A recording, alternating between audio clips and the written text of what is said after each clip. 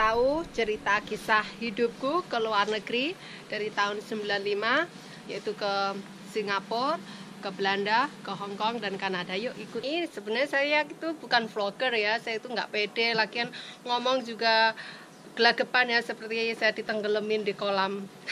ini saya hmm, banyak teman-teman yang pengen tahu cerita saya sampai ke luar negeri gimana, jadi saya akan menceritakannya tapi ya mohon maaf saya itu sebenarnya nggak nggak pede ya. Saya itu orangnya orang dari kampung terus nggak sekolah lagi saya bukan orang kuliahan.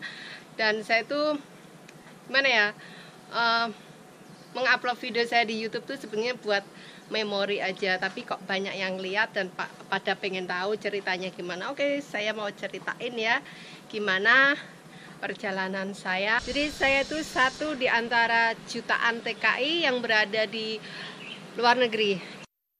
Nah, pertama saya merantau yaitu tahun 94. Waktu itu saya habis tamat sekolah, saya merantau ke Jakarta bersama teman sekolah saya. Jadi waktu itu saya ke Jakarta cuma membawa duit 20 ribu rupiah untuk membayar kereta dan uang jajan gitu aja. Dan saya di Jakarta setahun. Setelah setahun yang ngalamin udah pengalaman apa itu banjir dijamret orang gitu udah udah ngalamin. Jadi setelah setahun di Jakarta saya memutuskan untuk bekerja di luar negeri yaitu di Singapura. Nah gimana kisah saya di Singapura? Sebentar. Turis lewat dulu ya.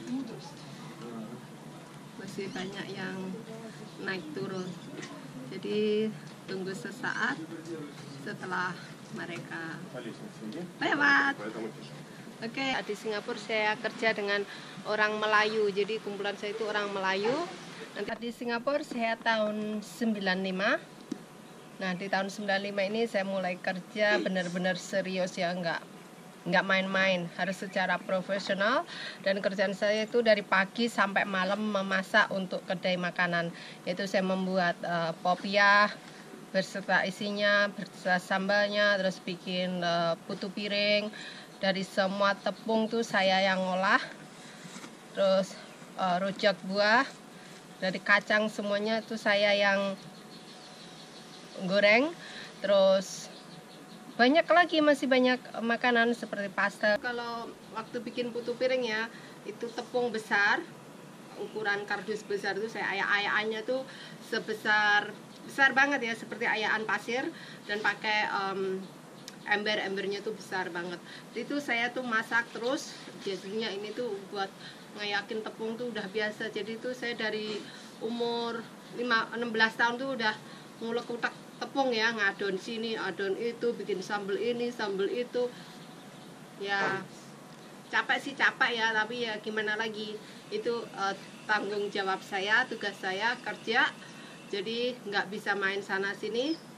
Jadi masa remaja saya itu memang kerja semua. Soal memasak saya itu udah biasa ya.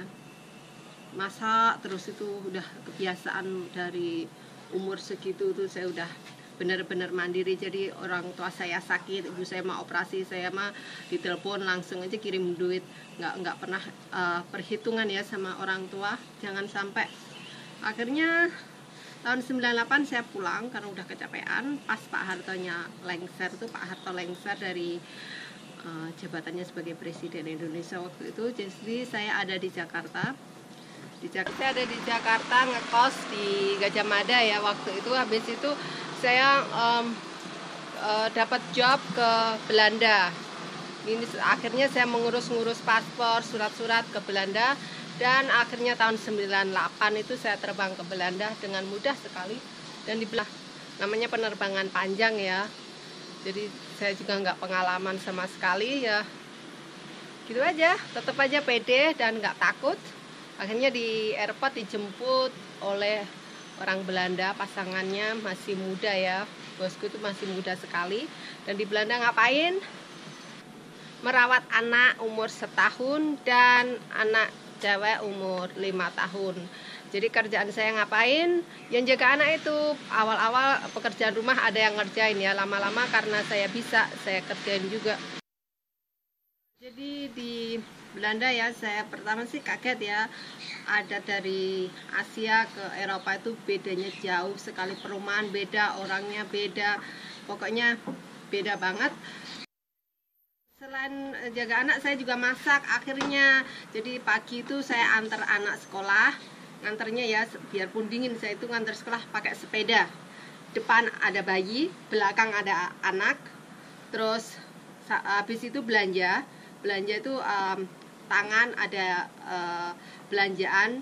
Jadi naik sepeda itu bawa anak depan belakang belanjaan ke pasar eh ke supermarket habis itu jemput anak lagi antar lagi. Soalnya mereka kalau makan siang tuh di Belanda harus pulang ya terus nanti sore antar lagi. Nah gitu. Terus sorenya juga masak dan sebagainya.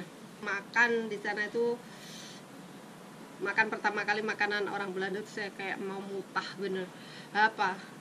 Namanya kentang genek-genek dituangin apa itu butter yang udah dilelehkan bekasnya goreng daging terus sayur cuma direbus-rebus gitu aja. Jadi pertama-tama sih kayaknya mau mutah gitu makanan gitu. Terus supnya kayak sup bayi semuanya itu kayak creamy creamy gitu. Pokoknya aduh akhirnya lama-lama kebiasaan sih. Tahun 98 itu saya sudah tahu Amsterdam mereka memang baik ya jadi juga diantar ke Amsterdam jadi ke seperti perempuan di balik kaca itu saya tahu. Pokoknya yang yang ada di Belanda tahulah gimana itu Amsterdam. Saat itu saya juga kaget dan umur itu juga saya bisa ke Spanyol tapi lumayan lah berjalan-jalan. Saya kerja di Belanda memang enak orangnya ramah-ramah tapi ya gimana ya sama duit orangnya ya begini ya. Baiknya itu ya nggak soal duit ya kerja ya dapat gaji ya itu aja. Nggak ada istilah bonus nggak ada itu nggak ada di sana. Gajinya juga rendah banget. Waktu itu saya masih mata uangnya di sana masih golden gulden bukan euro bukan. Benar aku tuh sambil nganu anak. Oke, selain itu mereka baik banget. Akhirnya dengan berat hati harus melepas saya karena uh, cuman setahun. Setelah setahun saya harus pulang. Umur 15 tahun saya ke Jakarta. 16 tahun ke Singapura. 19 tahun ke Belanda. 21 tahun ke Hong Kong sampai sekarang. Jadi saya itu sebenarnya udah tua udah umur 40 tahun untuk merantau di usia muda ya. Semuanya atas kemauan saya sendiri karena saya, saya ingin mandiri tidak mau ngasih beban berat kepada orang tua saya dan apalagi saat saya masih bocah. 15 tahun kan masih bocah ya. Umur 15 tahun saya kerja gaji saya penghasilan saya gaji pertama saya beliin mukena yang sisa-sisanya saya beliin baju untuk ibu saya dan sisanya saya kasihkan ke orang tua saya. Dan saya cuma ambil buat uh, bekal ke Singapura itu aja sepulang dari Belanda saya berencana ke Australia. Nah ke Australia ini nunggunya lama sekali dan saya dibantu oleh orang Melayu Melayu dari Singapura. Tapi ya akhirnya saya urungkan terus saya dapat job ke Hong Kong. Kisah di Hong Kongnya nih yang penuh tantangan bener-bener penuh tantangan. Di Hong Kong nih ya saya ada di telepon ditelepon orang Belanda nih saat di Jakarta mau nggak kerja sama dia? gitu. Terus aku jawab oke okay, gitu aja. Habis itu langsung tekan tekan kontrak ya tekan kontrak dan saya terbang ke Hong Kong. Tepatnya 17 tahun yang lalu ya tahun 2001 Januari tanggal 17 ya tanggal 17 deh. Hmm, ya betul tanggal 17 Januari 2001 tuh saya terbang ke Hong Kong. Sampai di Hong Kong agak kaget ya. Bener kaget. Soalnya dari Eropa ke Belanda, di Belanda ke Hong Kong uh, beda beda banget perumahan beda orangnya beda segalanya beda. Tapi ya sampai di Hong Kong saya di, di Mongkok ya. Habis itu dijemput sama orang Belanda ini. Terus dibawa pulang dan di situ saya dikasih tahu job aku menjaga anak bayi umur satu tahun. Eh belum ada satu tahun 8 bulan. Saya jaga bayi umur 8 bulan dan saya dibawa ke rumah kontrakan di ground floor gitu. Katanya ini rumah kamu kamu nggak tinggal sama aku ini rumah kamu. Nah ini dapurnya.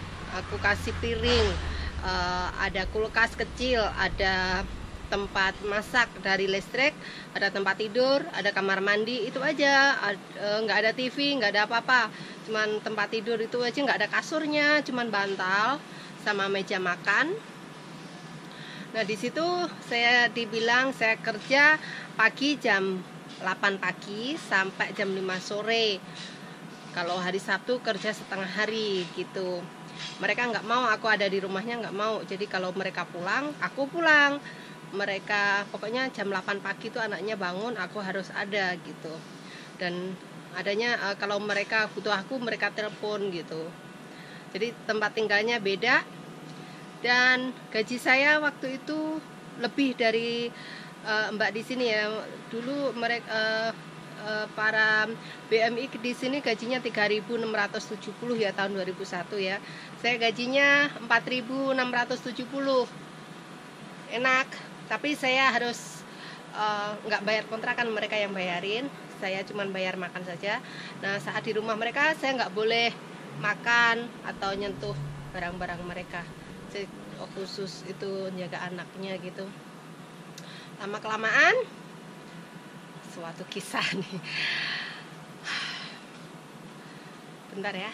Oke ini ada di belakang rumah oke karena saya tiap hari sendiri anaknya udah tidur itu siang kan bayi tidur terus ya.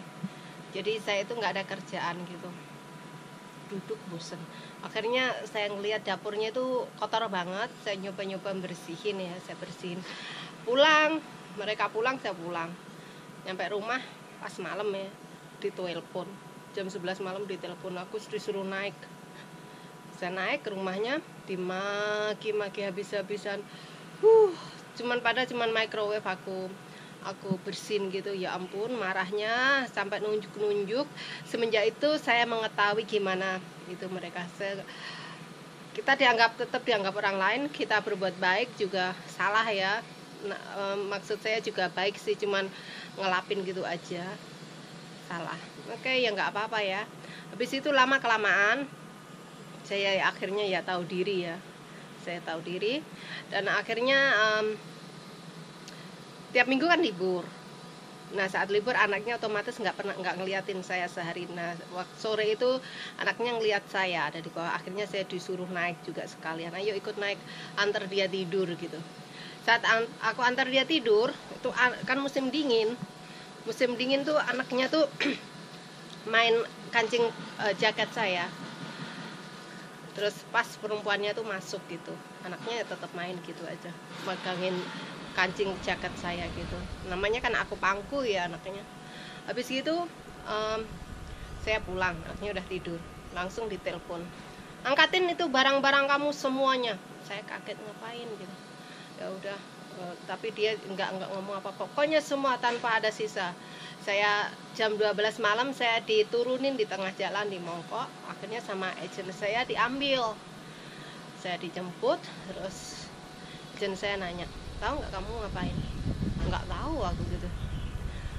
Katanya kamu itu netain anaknya. Astagfirullahaladzim. Saya kaget. Oh, enggak lah.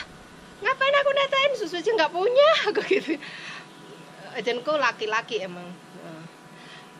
Terus Pak Wong ngomong kamu tuh katanya netain terus enggak lah aku cuman itu anaknya main jaket. Aku gitu. Dia duduk terus perempuannya masuk. Iya perempuannya itu cemburu sama kamu gitu. Saya saya sih sempat shock kaget ya.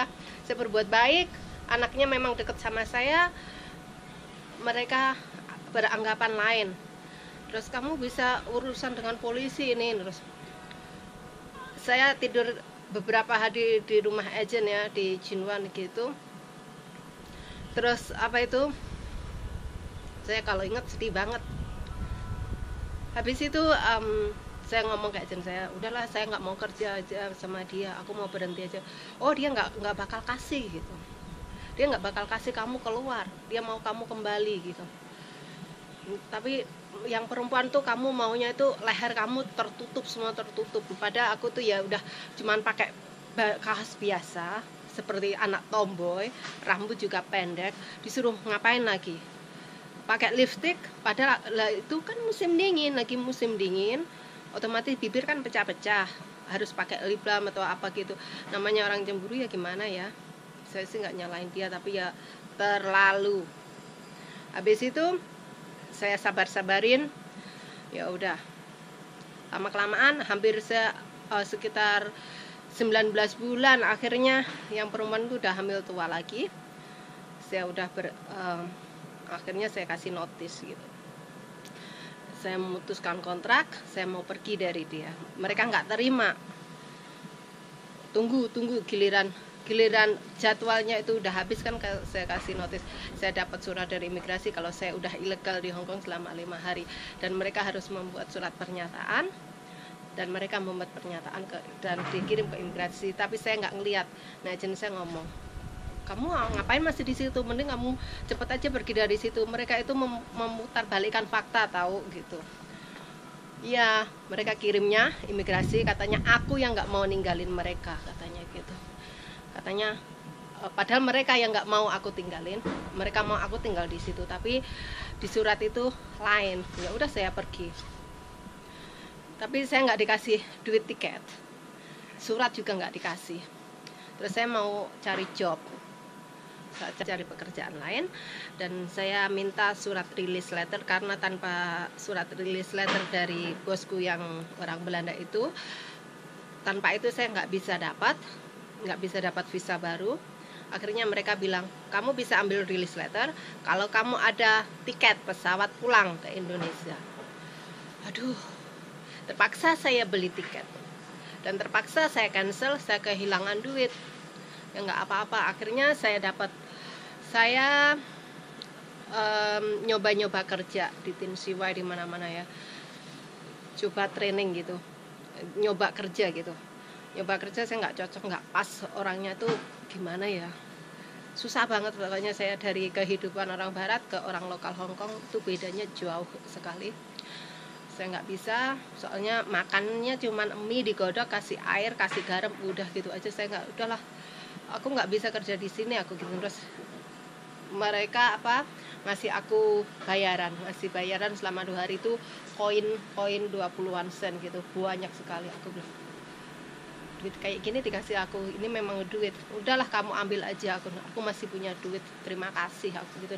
Aku pulang akhirnya aku dapat job jaga anak dua. Oke jaga anak dua ini uh, di keluarga yang keluarga lokal. Orangnya pas-pasan sekali. Dan sehari saya jaga anak dua antar jemput sekolah dan masak-masak itu. Nah masak-masak itu juga uh, ada ada budgetnya ya harus 30 dolar sehari untuk lima orang. Ya masak apa aja lah yang yang bisa aku masak aku masak aku beli gitu aja. Akhirnya nggak ada yang spesial di saya kerja di tempat ini juga akhirnya saya finish kontrak. Finish kontrak ini saya bilang saya tidak akan pulang ke Indonesia. Saya mau ke Kanada aku gitu jadi tiketnya jangan di jangan dikasih tiket. Saya kasih duit aja. Dia nggak mau saya keluar malam jam 8 ya. Jam 8 malam. Jam 6 pagi itu saya terbang. Terus tiketnya nggak nggak bisa di aku kan udah bilang aku itu aku itu punya hak di sini selama 14 hari. Setelah saya keluar dari sini saya nggak nggak bisa dong harus langsung kamu kasih air tiket besok pagi dia tetap ngotot. Ya udah tiket aku buang.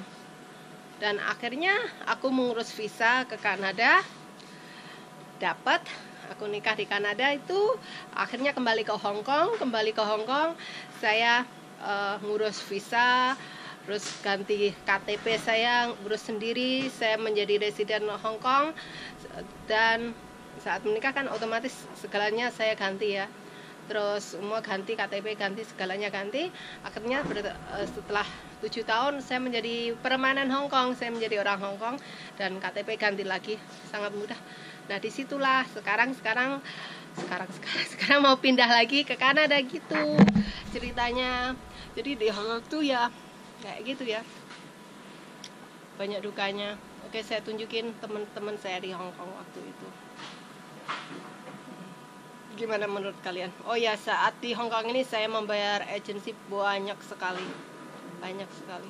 Saat saya dari orang Belanda itu saya harus keluar dari Hong Kong kan karena karena saya uh, ngebreak kontrak. Jadi saya harus keluar dari Hong Kong. Saya tinggal di Cina selama 27 hari itu. Jadi itu dari Jakarta ke ke sini saya bayar agent 21.000 21.000 tambah lagi karena saya ngebreak kontrak 9.000 saya tuh sekitar hampir berapa puluh juta itu saya ke sini ya gitu potongan gaji zaman dulu kayak gitu sekarang gampang ya. Oke. Okay. so dari so dari tahun 95 sampai sekarang kan otomatis saya udah 20 tahun lebih ya tinggal di luar negeri. Dan kadang ada yang komen muka saya itu muka pembantu. Jadi selama tinggal di luar negeri itu sampai di Eropa, di Singapura, di Hong Kong tuh sampai sekarang saya belum pernah lihat muka bos itu seperti apa orang Jawa mukanya gitu-gitu. Orang orang Hong Kong juga gitu-gitu. Bos aku yang orang Hong Kong juga gitu-gitu aja. Nggak nggak muka bos. Semuanya ya muka orang Hong Kong ya gitu. Muka orang kita ya kayak gini. Emang harus muka bos itu seperti apa? Apa muka bos itu seperti buatan dokter kali ya? Maaf makanya kadang kalau saya dikomenin muka saya muka desa muka pembantu muka apa lagi ya uh, lelaki saya tua itu saya nggak nggak nggak nggak berkecil hati saya nggak nggak tersinggung. Saya malah kasihan yang sama yang komen gitu kadang. Mereka kurang jalannya tuh kurang jauh gitu. Bener. Lagi ibarat saya ini uh, tahun depan ini udah 40 tahun. Masa suami saya 35 tahun kan nggak sip. Memang saya suka berondong gitu kali ya Nah, makanya kalau ada teman-teman yang komen se seakan-akan memojokkan saya, saya nggak ter saya nggak tersinggung. Bener, saya orangnya cuek. Kalau mm, membawa-bawa fisik saya, saya cuek. Saya membawa-bawa asal usul saya, saya cuek. Memang saya orang desa, saya anak orang saya bukan anak orang kaya, tapi orang tua saya kaya akan semangat nggak kayak duit sih kayak semangat itu aja. Dan apalagi ya jika ada yang selalu uh, membilangin saya pantas ya apa pembantu rajin lah. Saya nggak nggak tersinggung aku cuek aja aku pembantu ya so what? Saya juga berdiri di atas kaki sendiri. Kalau saya berdiri di atas kaki orang nginjek ya. Nggak enak injek orang itu nggak enak. Yang diinjek juga sakit. Makanya saya tuh orangnya mandiri. Jadi kalau ada komen macam-macam juga itu hak kalian ya. Mungkin itu jalan pemikirannya yang komen. Jadi saya nggak ambil ambil nggak ambil hati. Oke nah, itu aja.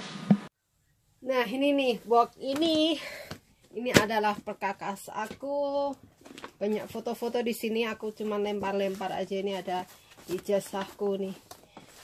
Aku tamatan MTS tuh MTS oke ini MTS saya tamat tahun 94 terus merantau ke Jakarta.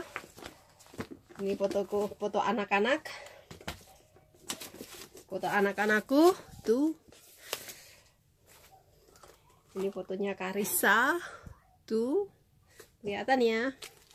Ups ini dia. Ini masa mudaku ini. Waktu di Belanda ini. Ini. Up ini. Aku di Belanda jadi oper ya. Pembantulah. Sama aja. Tuh seperti ini KTP ku. Aku tombol ini. Ini dia. Nikmatul rasidah tuh. Nah ini dia aku di Belanda. Ups ini waktu di Singapura saya yang pakai jilbab tuh manis banget. Ya ini sama adik aku. Jadi memang uh, setelah aku di Singapura setahun ya saudaraku datang ke Singapura. Soalnya di kampung nggak ngapa-ngapain ya. Oh ini aku jangan diliatin ya. Oh ini anakku. Oh ini temen aku ini jiwa ini jiwa manbuh kapan ini? Oh ini pulang dari Belanda itu ini bajuku ini aku sendiri yang bikin bajunya nih ini aku jahit ini mbakku ini ponakan. Ini udah foto lama banget itu tahun 2000 berapa tahun 99 itu. Ini adik aku. Oke ini dia nggak ada ya. Di Singapura cuman itu saya nggak nggak nggak ada yang lain. Ini aku tunjukin foto-foto di Hongkong ya up ini surat. Tuh surat. Uh, ini dari Belanda ini.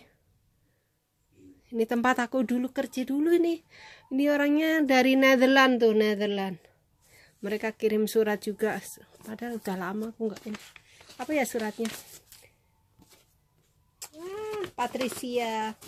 Kangen aku tuh Patricia ini yang bawa aku ke Belan ke Amsterdam. Dia ngajak aku ke Amsterdam jalan-jalan. Oh keren banget. Dia baik banget Patricia. Oke ini Patricia. Suratnya masih aku simpen. Tuh. Dia ngajak ke Amsterdam. Aku dibawa ke tempat itu perempuan di balik kaca. Diajak lihat show segala macem. Lucu banget ah, suratnya masih ada dia ini foto apa ya? Ini foto di Bali. Ini foto di oh ini temanku ini. Ups ups. Oh ini temen aku um, si gem ini temen aku Supra ini rada rada buh iki bocah ya. sekarang ada di Itali ini aku dulu apa itu? Sebentar ya. Tuh apa? Tomboy. Tuh um, rambutnya pendek banget. Tuh. Ups ini dia temen aku. Ini foto zaman dulu ini kayak gini nih. Tuh ini temen aku Sania. Aku yang ini ya aku yang ini. Ini temen aku Sania anak Cilacap. Ini Mbak Eni Mbak Eni ini baik banget sama aku Mbak Blitar dia. Blitar Sanan Kulon nah ini temen aku ini aku di tengah aku juga manis loh dah mana lagi ya ntar ya nah ini foto nih foto jiwaman kapan ini ups jangan nggak boleh lihat Ups. Oh, temen aku nih waktu yang lebaran kayaknya ya. Iya, lebaran ini. Tuh. Sania sama Mbak Eni.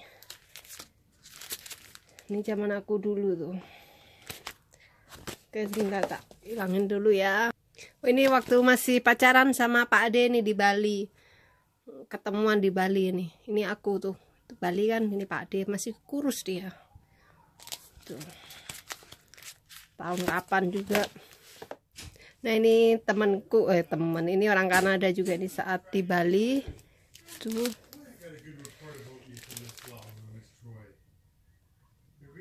nah ini teman aku nih uh, di Cilacap juga ini yang tadi ini aku tuh dan dananya lagi gini-gini dulu zaman dulu nah ini foto nikahan tuh ini foto nikahan tuh ups udah jangan lihat ini Oke. Oh, ini juga ada tuh. Oke, jangan lihat ini. Ini mah buat apa itu? Private ya. Oh, ini paspor aku. Tuh. Nikmatura Sida Dobson tuh. Ini zaman ini udah nggak, udah udah ini. Udah udah udah habis masanya. Oh, ini yang ini, yang ini dari Belanda saya punya dari Belanda cuman ini aja sama KTP udah yang Singapura saya nggak punya nggak punya memori ada di kampung deh udah gitu aja. Makasih yang suka sama saya. Yang itu saya itu orangnya gini-gini aja. Almarhum bapak aku tuh.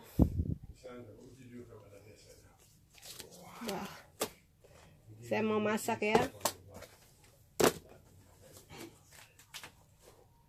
Nanti mau di itu mau di mau di apa ya? Mau aku beresin About Jamaica to live on the beach